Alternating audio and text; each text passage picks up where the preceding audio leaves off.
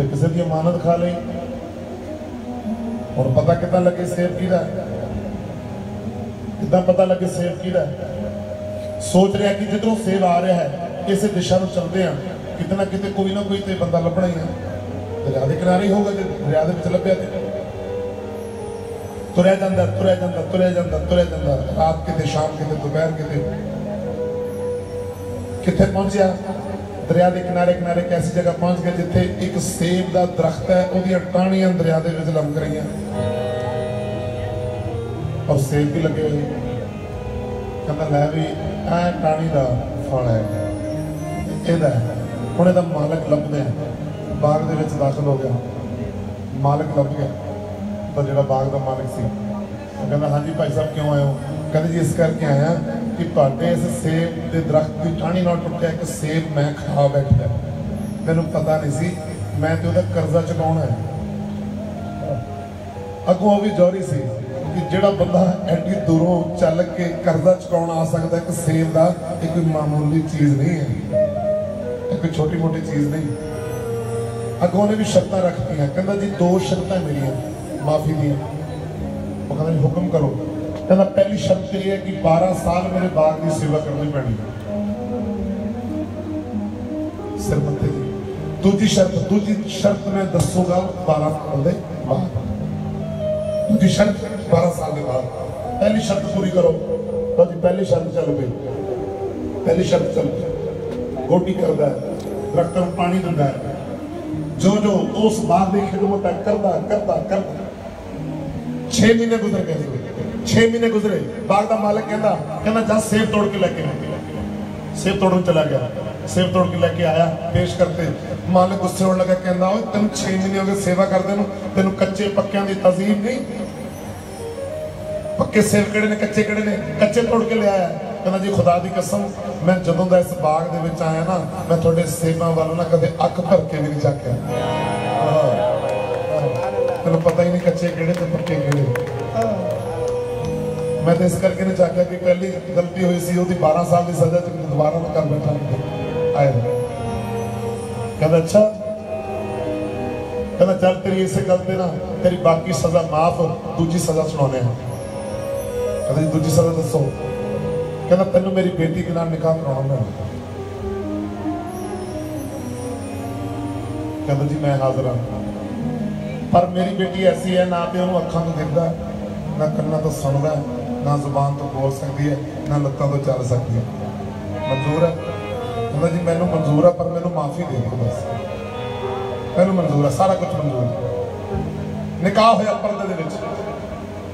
ਜਦੋਂ ਆਪਣੀ ਬੀਬੀ ਨੂੰ ਮਿਲਣ ਵਾਸਤੇ ਕਮਰੇ 'ਚ ਦਾਖਲ ਹੁੰਦਾ ਤਾਂ ਕੀ ਦੇਖਦਾ ਇੱਕ ਬੜੀ ਹੀ ਖੂਬਸੂਰਤ ਲੜਕੀ ਬੈਠੀ ਉਸ ਕਮਰੇ 'ਚ? ਉਹ ਤੋਂ ਭੱਜ ਕੇ ਬਾਹਰ ਆ ਗਿਆ। ਭੱਜ ਕੇ ਬਾਹਰ ਆ ਡਰਦਾ ਡਰਦਾ ਪੈਰਾਂ 'ਚ ਡਿੱਗ ਗਿਆ। ਕਹਿੰਦਾ, ਹਜ਼ੂਰ ਮੈਂ ਤਾਂ ਪਹਿਲਾਂ ਐਡੀ ਵੱਡੀ ਸਜ਼ਾ ਭੁਗਤ ਰਿਹਾ, ਹੁਣ ਦੁਬਾਰਾ ਕਿਹੜੀ ਸਜ਼ਾ ਦੇਣ ਲੱਗੇ ਮੈਨੂੰ ਤਾਂ ਕਿਸੇ ਹੋਰ ਦੇ ਕਮਰੇ 'ਚ ਭੇਜਤਾ ਤੁਸੀਂ। ਤੇ ਬਾਗ ਦੇ ਮਾਲਕ ਨੇ ਸੀਨੇ ਨਾਲ ਲਾਇਆ, ਕਹਿੰਦਾ ਨਹੀਂ, ਤੂੰ ਸਹੀ ਜਗ੍ਹਾ ਗਿਆ ਸੀ, ਉਹੀ ਮੇਰੀ ਬੇਟੀ ਹੈ। ਕਹਿੰਦਾ ਤੁਸੀਂ ਤੇ ਕਹਿੰਦੇ ਸੀ ਉਹਨੂੰ ਅੱਖਾਂ ਤੋਂ ਦਿਖਦਾ ਨਹੀਂ, ਕੰਨਾਂ ਤੋਂ ਸੁਣਦਾ ਨਹੀਂ, ਜ਼ੁਬਾਨ ਤੋਂ ਬੋਲਦੀ ਨਹੀਂ, ਲੱਤਾਂ ਤੋਂ ਚੱਲਦੀ ਨਹੀਂ। ਕਹਿੰਦਾ ਇਸ ਕਰਕੇ ਕਿਹਾ ਸੀ ਕਿ ਜਦੋਂ ਦੀ ਪੈਦਾ ਹੋਈ ਹੈ, ਅੰਨੀ ਇਸ ਕਰਕੇ ਕਿ ਅੱਜ ਤੱਕ ਉਹਨੇ ਕਿਸੇ ਗੈਰ ਮਰਦ ਵਾਲਾ ਖਬਰ ਕੇ ਨਹੀਂ ਚਾਹਤਾ ਬੋਲੀ ਇਸ ਕਰਕੇ ਹੈ ਕਿ ਕਿਸੇ ਗੈਰ ਮਰਦ ਦੀ ਆਵਾਜ਼ ਨਹੀਂ ਸੁਣੀ ਜ਼ੁਬਾਨ ਤੋਂ ਗੂੰਗੀ ਇਸ ਕਰਕੇ ਆ ਕਿ ਅੱਜ ਤੱਕ ਕਿਸੇ ਗੈਰ ਮਰਦ ਦੇ ਨਾਲ ਗੁਫ਼ਤਗੂ ਨਹੀਂ ਕੀਤੀ ਲੱਤਾਂ ਤੋਂ ਲੰਗੜੀ ਇਸ ਕਰਕੇ ਆ ਕਿ ਉਹਨੇ ਅੱਜ ਤੱਕ ਮੇਰੇ ਘਰ ਦੀ ਦਹਲੀਜ਼ ਨਹੀਂ ਟੱਪੀ ਜਦ ਤੇਰੇ ਨਿਕਾਹ ਚ ਦਿੱਤੀ ਨਿਕਾਹ ਹੋ ਗਿਆ ਘਰ ਵਾਲੀ ਅਮੀਰ ਹੈ ਆਪ ਗਰੀਬ ਹੈ ਹੁਣ ਘਰ ਵਾਲੀ ਕਹਿੰਦੀ ਹੈ ਕਿ ਅੱਬਾ ਜੀ, ਮੈਂ ਹੁਣ ਬਸ ਤੁਹਾਡੇ ਕੋਲ ਮਹਿਲਾਂ ਨਹੀਂ ਰਹਿ ਸਕਦੀ। ਮੈਂ ਤਾਂ ਹੁਣ ਜਿੱਥੇ ਇਹ ਰਾਤ ਕੱਟੂ ਉੱਥੇ ਹੀ ਕੱਟੂ ਜਦੋਂ ਦੋਨਾਂ ਦਾ ਨਿਕਾਹ ਹੋਇਆ, ਉਸ ਨਿਕਾਹ ਤੋਂ ਅੱਲਾਹ ਪਾਕ ਨੇ ਪੀਰਾਂ ਨੇ ਪੀਰ, ਦਸਤਗੀਰ, ਸ਼ੇਖ ਅਬਦੁਲ ਕਾਦਰ ਸ਼ਹਿਰ ਜਲਾਨੀ ਗਿਆਨੀ ਵਾਲੀ ਸਰਕਾਰ ਪੈਦਾ ਕੀਤੀ। ਜਿਹਦੇ ਮਾਂ-ਬਾਪ ਐਸੇ ਹੋਣ ਤੇ ਫਿਰ ਉਹ ਬੱਚਾ ਕਿਹਦਾ ਹੋਊਗਾ? ਉਹ ਸਾਡਾ ਦੁਸ਼ਮਣ ਆਹਾ। ਹੁਣ ਗਰੀਬੀ ਦੇ ਵਿੱਚ ਚੱਲ ਕੰਮ ਮਾਮਲਾ ਮਾਫੀ ਚਾਹਨਾ ਵਕਤ ਥੋੜਾ ਜਿਹਾ। ਮੈਂ ਆਪਣੇ ਘਰ ਬੈਠਾ, ਮੇਰਾ ਦਿਲ ਕਰਦਾ ਗੱਲਾਂ ਕਰਨ। ਗਾਣਾ ਮੈਨੂੰ ਘੱਟ ਹੀ ਆਉਂਦਾ, ਮੈਨੂੰ ਐਸਾ ਕੁਝ ਆਉਂਦਾ।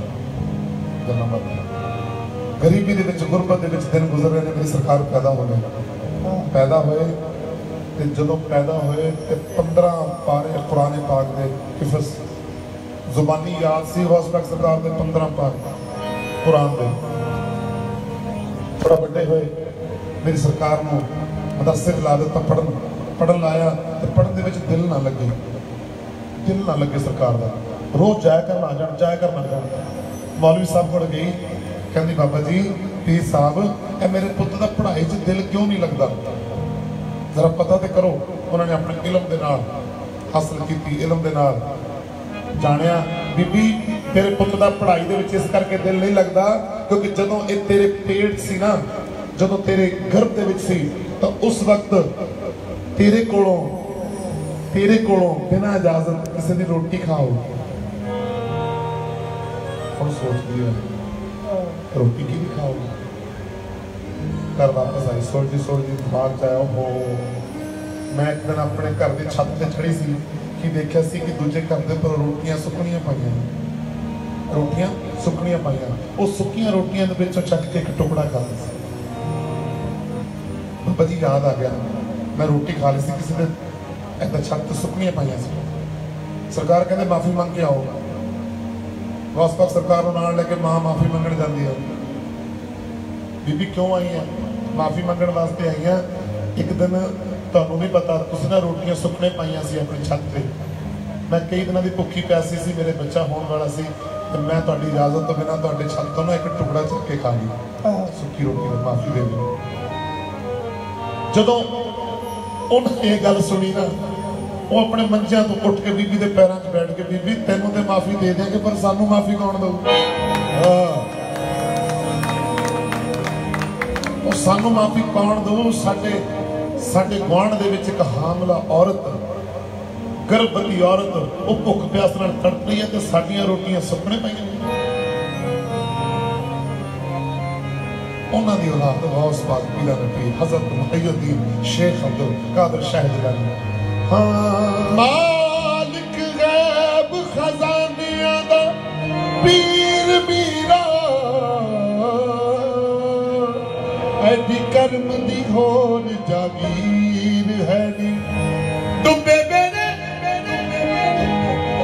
ਵਿੱਚ ਪੱਲੇ ਲਾ ਦੇਵੇ। ਐਸਾ ਹੋਰ ਕੋਈ ਦਸਤਗੀਰ ਹੈ? ਫੜੇ ਚੋਰ ਤੇ ਕੁਤਬ ਬਣਾ ਦੇਣੇ ਇਹ ਭੁੱਲਦਾ ਕੋਈ ਤਕਦੀਰ ਹੈ ਨੀ ਰਫੀਕ ਅੱਖਾਂ ਮੈਂ ਨਗਾੜੇ ਦੀ ਚੋਟ ਹੁੰਦੇ ਮੇਰਾ ਗੌਸ ਵਰਗਾ ਕੋਈ